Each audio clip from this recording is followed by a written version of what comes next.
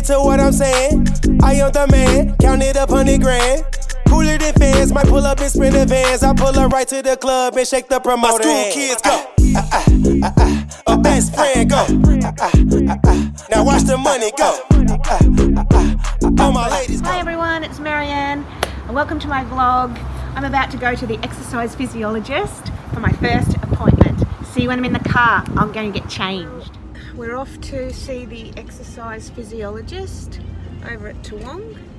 So we don't know how long it's going to take us to get there, maybe half an hour. So I've got a list of questions. I have no idea what happens when you go to one of these appointments. Uh, I got the appointment because I have had to go on injections for my skin because I got psoriasis about 18 months ago and I'm on a new treatment. So this is part of the treatment and I get to have three sessions with an exercise physiologist. So I will let you know how it goes. And here we are driving to the exercise physiologist and this just happened. Wonderful bit of rain. Haven't had rain in so long. Very excited. Yay, Ireland! It's a good day.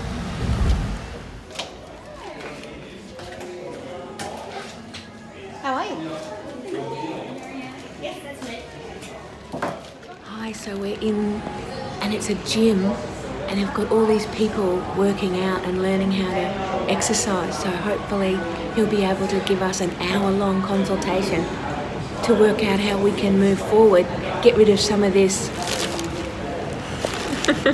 around our tummies. So that's what it looks like. And so we don't even know the name of the man. Oh, actually, I think it might be Patrick, but he's in the office and we get taken into the consultation room and we take all our gear in there and he gives us a good talking to.